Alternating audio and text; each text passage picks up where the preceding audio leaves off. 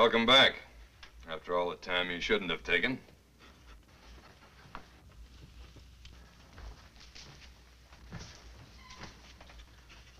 Well, I'm sorry. I'm so kind of late.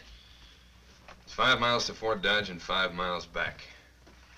I figure in the time you were gone, you must travel about two miles an hour. Well, Major Holcomb kept me waiting for close to three hours. Why didn't you leave the wanted posters with the first sergeant? You told me to leave him with the Major. I should have explained. Oh, that's all right, Mr. Dillon. me and the first sergeant spent close to three hours enjoying a couple of beers at the Sutlers. Oh, I trust when it came to it, the major didn't mind waiting. Yeah? No, it was me that was waiting, Mr. Dillon. me and the first sergeant. You see, when I got there, Never mind, Chester. It doesn't matter.